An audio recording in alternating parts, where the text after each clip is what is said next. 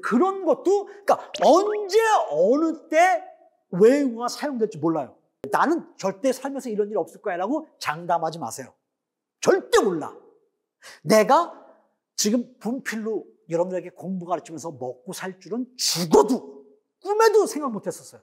나는 지금 락커 아니었으면 축구 선수 감독을 하고 있을 줄 알았어. 자, 준비됐다잉. 빨리 가자잉. 아, 자, 음. 자, 지난 아까 오늘 쉬기 전에 내가 이제 배양 배두 장무 굿에 대해서 구체적인 주제들을 설명했는데 이번 시간에는 에, 여러분들에게 사전에 미리 델프 시험과 나 개인적으로 나한테 궁금한 사항이 있으면 질문하라고 쪽지를 받았을 거야. 거기에 대한 걸 지금부터 이제 얘기할 건데 이렇게 팔 올려놓으니까 이게 높아요. 팔에 피가 안 통해. 그래서 좀 이렇게 이게 이럴 때 키가 좀 한스럽네. 자, 내가 여러분에게 이거 얘기하기 전에 딱 한 가지만 팁을 줄게요. 일단 대프 시험 보기 전에 서뭐 신분증 뭐 응시 이런 거 다 서류는 그 전날 미리 다 준비해야 돼요. 싸놓고 그 다음날 갖고 게 해야 돼. 그리고 지우는 거 있죠? 이것도 꼭 갖고 와야 되고 시험장에서 배양 아두건 배양이건 배두건 준비실에서 쪽지를 고를 경우 어떤 게 두 개 중에 하나를 고르는 거잖아. 어떤 건지 모르잖아요. 그러면 이렇게 놓여 있는 것 중에 이렇게 올라와 있는 종이가 있어요. 이게 두 명의 학생들이 집었다가 이게 쉬우니까 이걸 덮어놓고 갖고 들어가서 손에 쥐고 공부를 한 거야. 그리고 나갈 때 다시 반납하거든요. 손에 쥐고 있으니까 이렇게 올라와 있어요. 이게 많이 올라온 걸수록 쉽다는 거야, 내용이. 그래서 무조건 그걸 골라야 돼요. 그래 나는 남들이 가지 않은 길 가겠다. 평평한 거 딱 찍으면 완전히 날아가는 거예요. 그러니까 그래서 우리가 감독할 때 보면 똑같은 주제를 계속 갖고 올라와 애들이. 이유가 있어. 다 머리 쓰는 거야. 왜? 우리 고등동물이잖아. 그게 내가 여러분들한테 해주시는 힌트, 팁이에요. 자, 일단 내가 이걸 보면서 멋있게 딱 주제가면서 해야 되는데 내가 그 유튜브 거기서도 얘기했지만 안 보여요. 그래서 댓글이 안 보이기 때문에 마음이 너무 편해. 그래서 여러분한테 뭔지 안 보이기 때문에 넘겨줘서 여기 있는 학생이 읽어줄 거야, 질문을. 그럼 내가 답변을 할게요. 자, 여기 있는 거 한번 뜯어서 질문을 해 보세요. 뭐, 학교에서도 거의 질문 안 하지만 봅시다. 네. 아두와 배양을 함께 응시하라고 하셨는데 그렇다면 시온스쿨 강의 배양 준비로 공부를 하면 될까요? 현재 3학년입니다. 자, 중요한 건 이거야. 내가 먼저 현실제 실제 내 실력이 어떻게 되는지 먼저 알아야 돼요. 그럼 어떻게 해야 되겠어? 일단 시온스쿨에서 우리 공개 강의 일부러 올려놓은 게 있을 거야. 아두, 배양. 그러면 그걸 읽어 문제를 풀어봐. 그리고 프랑스 사이트에 그 예제가 올라와 있어요. 문제들이 듣기 파일까지 있어. 그걸로 해서 내가 직접 문제를 풀어봐야 돼. 근데 배양은 절대 못 풀 거야 혼자서. 그러면 아두를 풀어봐야 되는 거야 아두를. 그래서 어 내가 80점 정도 나왔다. 그러면 배양을 수강을 해서 배양을 공부를 하고 아두를 시험 보는 거야. 근데 내가 아두가 한 5, 60점 밑이야. 그러면 절대 배양을 보면 안 돼요. 이게 함정이야. 3월, 5월, 9월, 11월 네 번의 기회가 주어졌다고 해서 더 좋아할 게 아니야. 왜? 배양 배드의 경우 60점이 이하 점수가 나왔다면 특히 배양이 60 이하야. 내가 3월에 봤는데 5월에 아, 왔는데 배양 이하야. 6점 아, 이하야 배양. 그러면 5월, 9월 달에 생긴 국어 배두를 보면 안 돼요. 9월 달에. 11월 달에 봐야 돼. 이게 함정이야. 그러니까 그걸 잘 생각을 해야 돼요. 오케이? 이게 가장 중요해. 그러니까 자기 실력을 먼저 판단을 하고 높은 단계를 내가 듣고 이해가 되면 두 개를 동시에 보는 거야. 그러니까 아도는 기본적으로 내가 붙어도 80점 이상 받을 수 있다는 기본 장착이 돼 있는 상태예요. 그래야 두 개를 볼 수 있어요. 이렇게. 예. 어. 델프 구술 테스트에서 너무 긴장돼서 문장을 말하다가 중간에 말을 많이 더듬게 되면 많이 감점될까요? 어, 지금 질문한 학생이 억양이 없어요. AI 같아. 좀, 좀 이렇게 좀 생동감 있게 해. 괜찮아. 어, 더듬는 건 문제가 안 돼요. 더듬는 것. 발음이 썩 좋지 않은 것도 문제가 안 돼요. 배양가. 왜? 채점 기준에 발음에 대한 기준표가 없어요.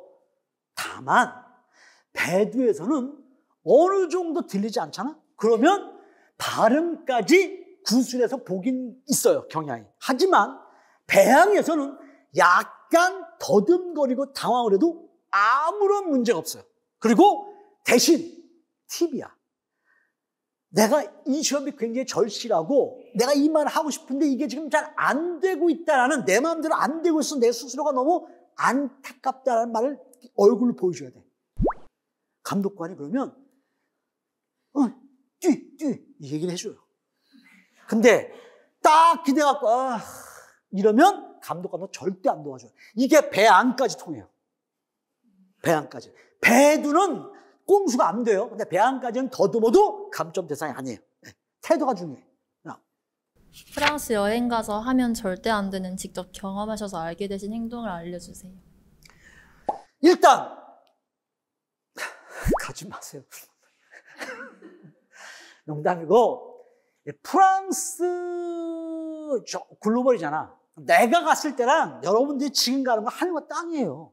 내가 프랑스 갔을 땐 지금부터 40, 거의 35년 전이야. 내가 프랑스, 그때만 해도 동양인이 가면 일단 이걸 했어요. 근데 요즘은 안 그래. 왜?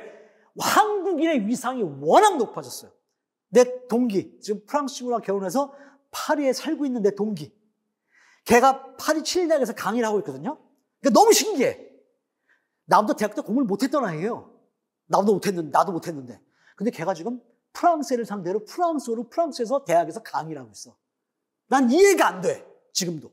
근데 그 친구 말에 의하면 파리대에 있는 대학에 한국어와 관련된 케이팝과 관련된 동아리가 그렇게 많대요. 아직도. 유럽에서 제일 활성화되어 있는 데가 프랑스야. 그렇다면 내가 늘 얘기했잖아. 우리는 돈을 쓰는 고객의, 고객 입장이다. 기세로 밀로 붙이는 거야, 기세로.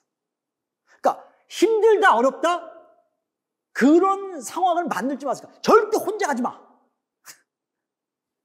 그게 제일 중요해. 그리고 항상 연락할 준비를 돼 있어요. 미리. 어디다가 연락할지. 네, 그거 항상 중요해. 나 같으면 요즘 그 프랑스는 좀 어떨지 모르는데 진짜 유럽 전체가 요즘 좀 이렇게 안치안이 나 있을 때보다는 좀 안 좋다 그래요. 전반적으로. 내 친구한테 물어보니까 야, 후배들한테 요즘은 좀안 좋다고 얘기를 해라. 그 얘기를 하더라고요. 근데 뭐 어느 나라든 뭐안 그렇겠어요? 근데 지금 내 생각엔, 어, 뭐 간다고 해서 크게 내가 무슨 문화적인 차이 때문에 문제가 일으키거나 그런 일은 지금 거의 없어요. 그런 문제는. 그건, 그거 점에 대해서 너무 크게 걱정하지 않으셔도 될 것 같아요. 네. 교수님만의 천둥 호랑이 발성을 위한 목 관리 비법이 있는지 따로 발성법이 있는지 궁금합니다. 어, 타고나야 돼요. 네, 그것도 유명한 가수가 얘기했죠. 어떻게 하면 노래를 잘합니까? 라고 물어보니까 어느 정도까지 연습하면 되는데 그 이상은 안 돼요. 타고나야 돼.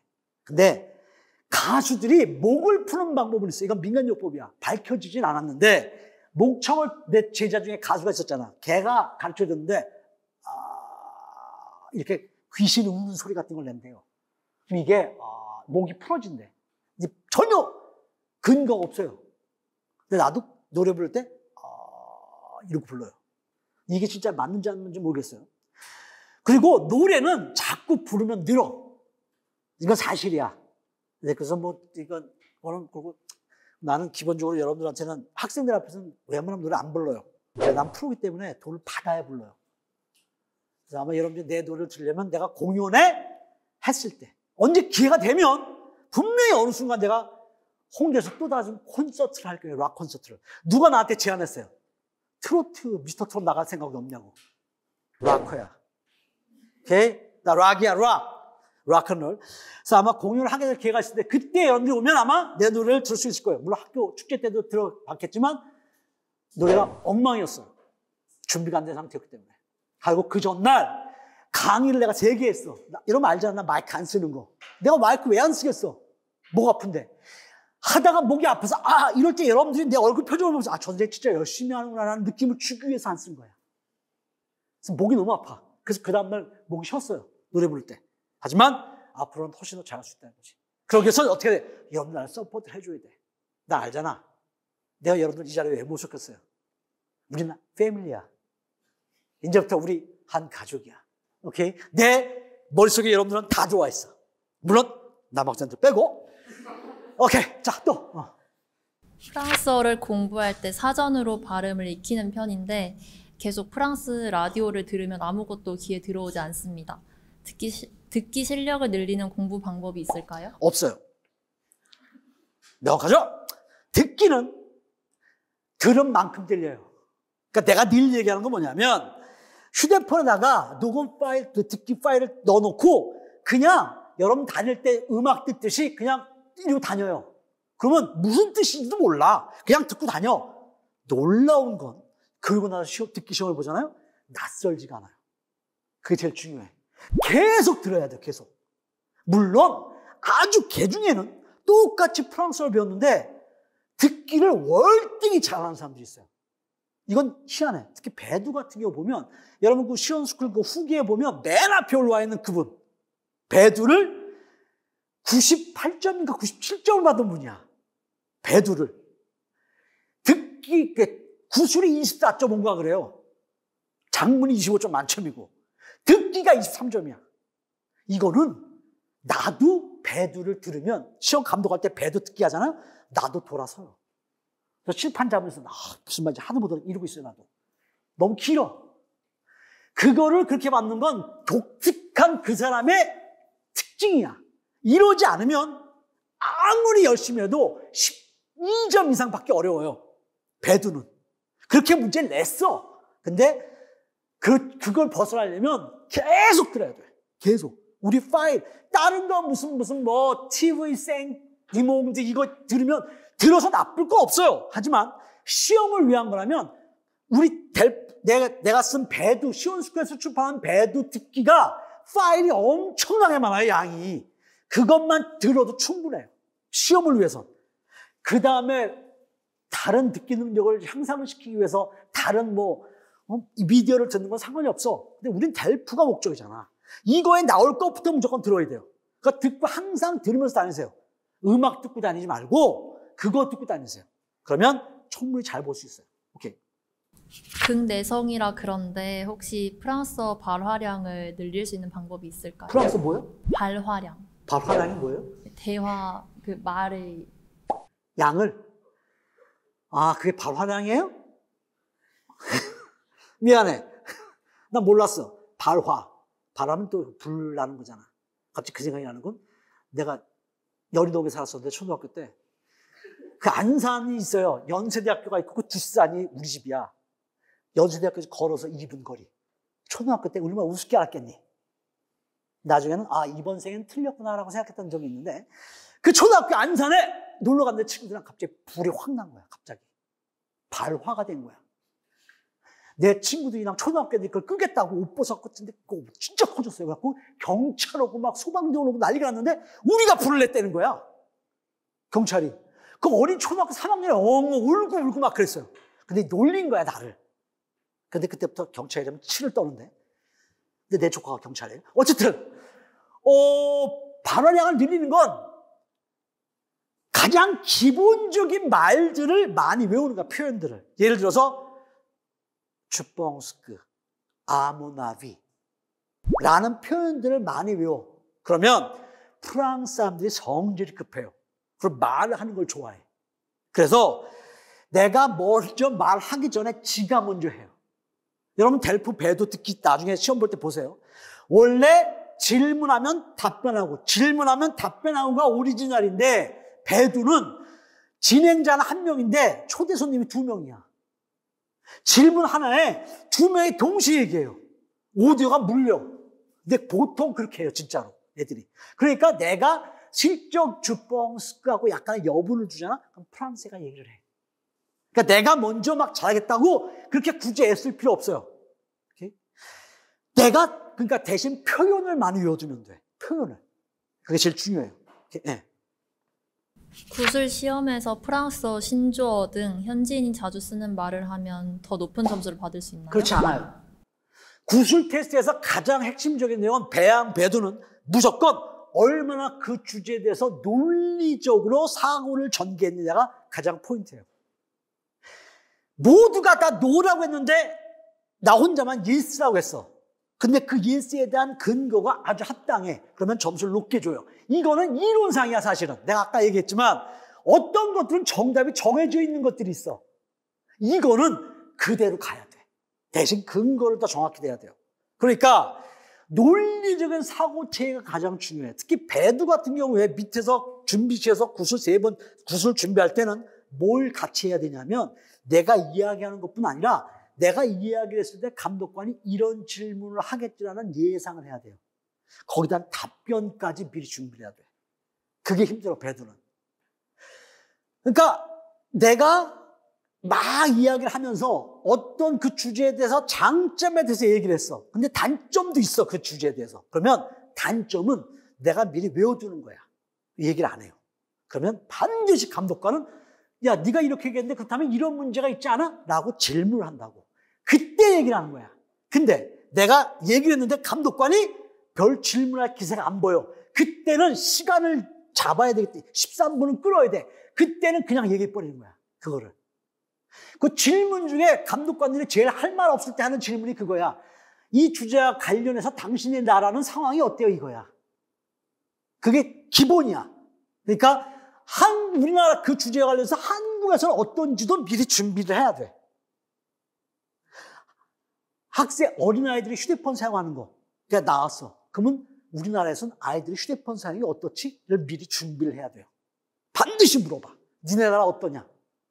거짓말하면 안 돼. 왜?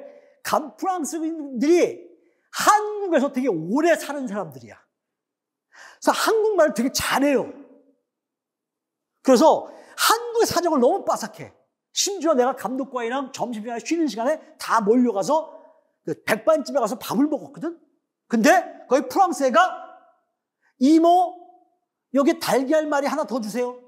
우리말을 나보다 더 잘해요. 그러니까 상황을 거짓말로 꾸미면 안 돼. 대신 준비를 그렇게 해야 돼요. 그러니까 예상 질문까지 미리 다 준비를 해놔. 이게 포인트예요. 네. 델프 시험에서 말하기 쓰기 영역을 응시할 때 각 단계별로 꼭 들어가야 할 필승 문법이나 팁 등이 있나요? 있어요. 그 팁들이 어디 있어요? 시원술에서 출판한 한 권을 끝내는 교재에 다 있어요. 아, 거짓말이 아니야. 진짜라니까? 여러분, 우리, 여러분, 우리 과사무실에 가면, 우리 과사무실의 그 한쪽 구석에 조교가 책을 쫙 정리해놨어요. 아행, 아두를. 내가 쓴 책. 거기에 지금 쭉 꽂혀져 있어.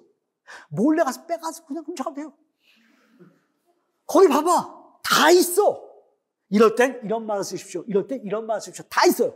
대신 한 가지만 생각하세요. 문법에 대해서 너무 강박관념을 갖지 말라는 거야. 문법을 틀렸어. 장문을 하는데 일치를 못 시켰어. 아니, 저 문법이 엉망이네.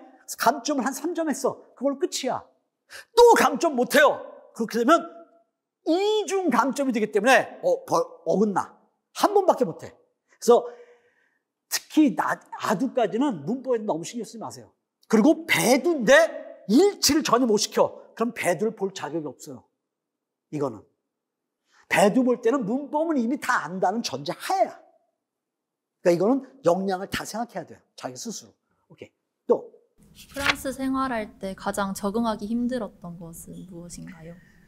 어, 이거는 유학생들이 갖고 있는 기본적인 불안감이에요. 뭐 한참 재밌게 놀다가도 순간적으로 우울에 빠져요. 왜? 순간적으로 머릿속에 야, 내가 공부 끝내고 돌아갈 수 있을까? 박사기를 받고 돌아갈 수 있을까? 라는 머릿속이 순간적으로 들어와요. 그러면 확 다운이 돼. 이게 모든 유학생들이 갖고 있는 불안감이에요. 그래서 어떤 경우라도 화가 났더라도 절대 그 부분을 공격하면 안 돼요. 이건 아킬레스건이야. 더군다나 나는, 여러분 알잖아. 락커. 축구 선수, 탁구 선수. 공부를 별로 그렇게 관심이 없었기, 상관이 없었, 관심이 없, 상관이 없었기 때문에 정말 불안했어요. 이게 성격에 무지한 영향을 끼쳐요, 나중에. 그래서 그게 제일 불안했어, 나는. 다른 사람들은 모르겠어요. 근데 이게 제일 불안해요. 근데 모든 사람들이. 그래서 웬만하면, 어, 정말 공부가 정말 하고 싶다. 어떤 그러니까 주변에 내가 이걸 이걸 함으로써 이용해서 내가 뭘 얻어야지 라는 생각 없이 순수하게 공부가 좋다면 하세요. 근데 이걸 통해서 내가 아 박사학위 받았으면 들어가서 반드시 교수가 돼야지 이렇게 되는 순간 온 갖 잡념 스트레스가 몰려와요. 이건 견디기 힘들어요. 그래서 그건 잘 생각해야 돼. 나 같은 경우는 그랬었어요. 네, 유학 갔을 때 언제 끝나고 돌아가나 라는 게 가장 큰 불안감이었어요. 프랑스에서 가장 좋아하는 도시 있으실까요? 사실은 나는 여행을 그렇게 썩 많이 한 편이 아니에요. 바보죠. 남들은 일부러 길게 휴가 내, 휴가 내갖고 유럽으로 여행 간다는데 나는 유럽에 살면서 여행을 많이 못했어요. 많이 못한 게 아니라 많이 안 했다고 봐야 돼. 왜? 귀하게 자라서 밖에서 잠자는 거 못해요. 어려서부터. 어느 정도냐? 내가 초등학교 3학년 때 축구 선수 했다고 했잖아요. 그때 강화도로 여름에 훈련, 전지훈련을 가서 초등학교 3년 초등학생들이지. 근데 그때만 해도 강화도에 다리가 없었어요. 배를 타고 건너갔어야 돼. 그래서 배를 타고 가는데 짜장면을 먹고 탔는데 풍랑이 치는 바람에 애들이 다 멀미난 거야. 그리고 학 강화도에 도착했는데 강화 초등학교, 그때 강화 국민학교지? 거기 차육관에 모포를 깔고 거기서 우리가 잤어. 못 견디겠는 거야, 내가. 그래서 그 다음 날 우리 그 교무 선생님이 혼자 돌아올 때 배 몰래 숨어 타갖고 나 혼자 돌아왔어요. 그만큼 바깥에서 못 자. 근데 여기까 바보가 내가 지금 가장 후회되는 게 그거야. 기회가 있을 때 돌아다녔어서 많이 봤어야 되는데 그걸 안 한 거야. 그래서 도시를 많이 못 봤어요, 사실은. 근데 내가 간 곳 중에 가장 마음에 드는 건 안시라는 도시가 있어요. 거기가 그 호수가 되게 아름다운 도시인데 중세 도시야. 중세, 예전에 중세 도시 보면 성 안에 마을이 있다고 그렇게 돼 있어요. 정말 아름다워. 근데 단지 그게 아름다워서 좋은 게 아니야. 내가 거길 내 와이프랑 같이 갔는데 초등학교 동창을 거기서 만났어요. 안시에서. 얘기도 서로 졸업하고 한 35년 만에 처음 만난 거야. 근데 걔, 저쪽 걔도 부부인데 둘이 많이 본 놈이야. 어, 나는 이제 초등학교 때 워낙 유명했어요. 학교도. 그래서 내 별명이 짤이었어. 초등학교 때부터. 안 자란 거야, 키가. 그놈도 해요. 근데 걔는 비율이 좋아. 근데 이놈이 영왕서 울먹이면서 나한테 달려오는 거야. 그래서 내가 난 도망갔어요. 그때 그 친구를 거기서 안스에서 만났었어. 그래서 아, 사람이 언제 어떻게 만날지 모르기 때문에 항상 잘해야 누구한테나 잘해야 최소한 나쁘게는 하지 말아야 된다는 걸 그때 처음 느꼈어요. 그리고 지금 20, 15년째 아직도 연락이 없어요. 또 언젠가 만나겠죠. 그래서 안시라는 도시가 굉장히 아름다워요. 파리, 로마, 거기서 거기야. 다 비슷비슷해요. 그래서 대도시보다는 나중에 기회가 돼서 되면 한적한 시골 가서 한 달 동안 집 하나 빌려서 그냥 거기서 선글라스 끼고 선글라스는 비가 와도 써야 돼요. 프랑스는 왜 간지니까. 그래서 이러고 한 달 동안 생활해보고 싶은 생각이 있어요. 그때 내가 그런 여건이 되면 같이 갑시다. 비행값 비싸요. 배 타고 가면 돼. 3주. 오케이? 낚시하다 지치면 돌고래 타고 가고. 얼마나 유익할 수 있어. 어, 그때 가서 난 안쓰러운 도시가 굉장히 인상이 남았던 것 같아. 끝? 왜? 아, 맞다. 혹시 여러분 중에 질문사항 있는지 한번 물어봐서 질문 있으면 이렇게 나한테 물어보는데 내가 25년 동안 대학에서 강의하면서 25년 전과 지금 학생이랑 전혀 달라진 게 없다는 게 딱 하나야. 질문 있는 사람, 그럼 다 같이 고개를 숙여요. 내가 일로 가면 다 반대로 돌려. 똑같아. 괜찮아. 질문해. 상관없어요. 뭐, 개인 사항이든 대표 시험이든 상관없어요. 자, 혹시 질문할 수 있으면 질문하세요. 어. 준서 어차피 군대 갈 건데 빨리 얘기해. 어. 후회하지 말고.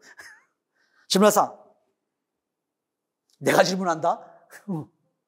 면접관님이 질문을 하셨는데 계속 못 알아들었을 경우에 한 번 더 요청드려 드리는 게 나을까요? 아니면 그냥 다음 질문을 해달라고 부탁드리는 게 나을지 궁금해요. 다음 질문 해달라는 거는 안 되고 아두까지 배양까지는 다시 한번 말씀해 주세요. 부부베나페트 실브플레까지는 가능해요.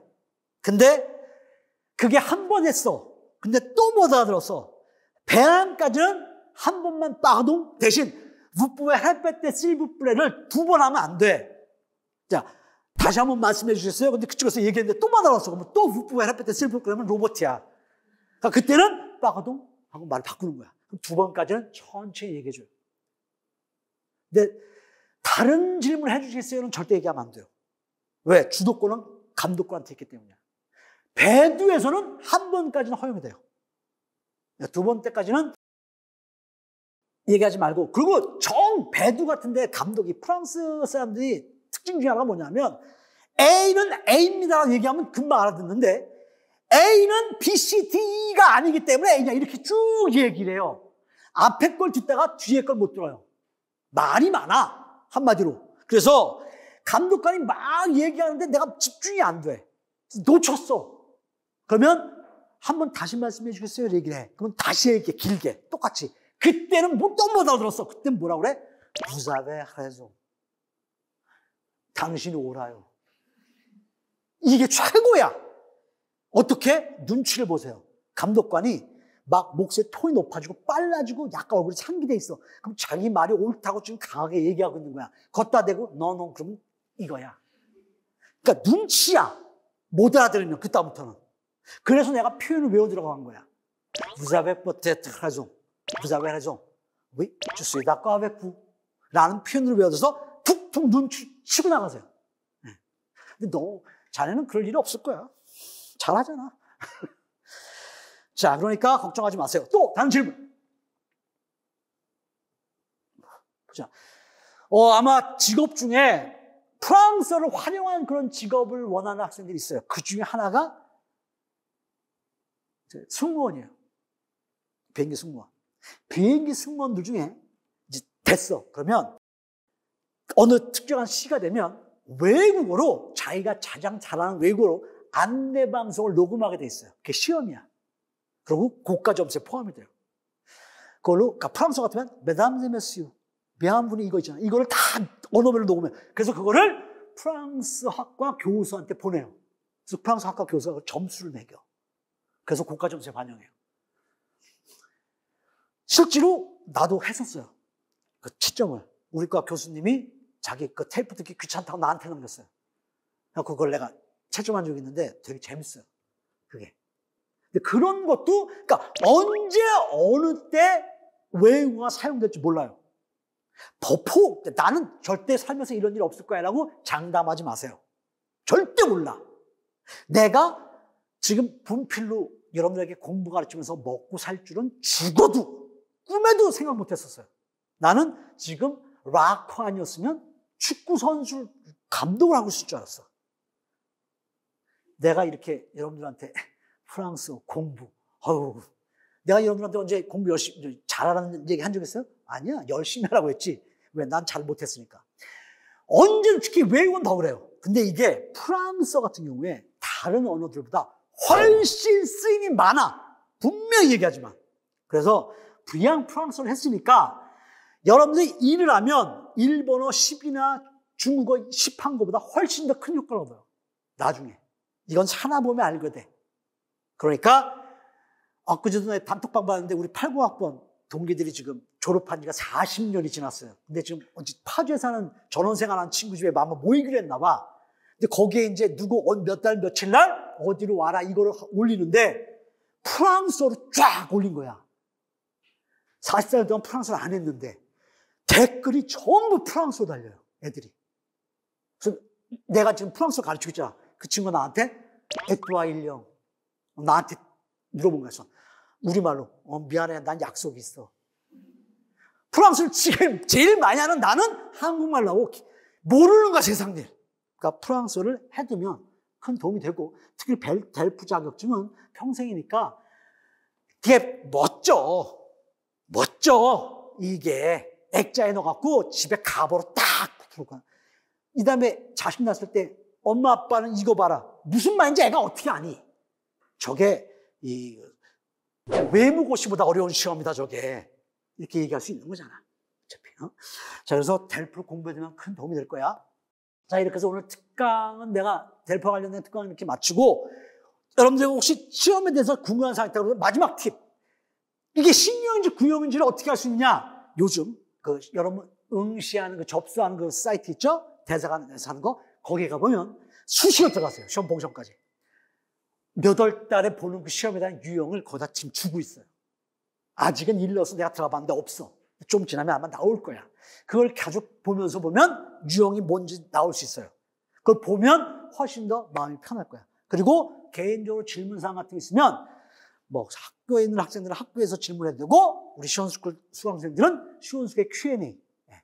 여러분 알다시피 내가 Q&A 답변이 아마 제일 빠를 거예요. 왜? 집에서 나는 뭔가가 있으면 찝찝해서 잠을 못 자요. 질문을 올라면 바로 답변을 해야 돼. 그래서 아마 내가 제일 빨리 답변을 할 거야. 학교에서는 절대 대답 안 해줘. 하지만 그만큼 내가 시원스쿨 여러분들을 의뢰한다는 거야. 오케이? 그래서 연대 질의응답 올려주면 얼마든지 내가 답변해 줄 테니까 걱정하지 마시고 궁금한 거 있으면 한시라도 나에게 질문을 해 주시기 바랍니다. 오늘 듣느라고 여기 있는 계신 분들 고생 많이 하셨고요. 또 집에서 지금 이 화면 보고 있는 좀 부족하다고 생각될 수 있지만 제 나름대로 최선을 다해서 정해진 시간 내에 열심히 달렸으니까 이것만큼은 여러분들이 인정을 해 주시되 안 그러면 나 삐질 거야. 그래서 오케이 자 오늘 여기 했던 다른 다른 분들 세 분들도 고생 많이 하셨고요. 다음번에 또 기회가 되면 이런 기회를 만들어서 좀 더 멋지게 한번 해 봅시다. 오브바의 알라포션.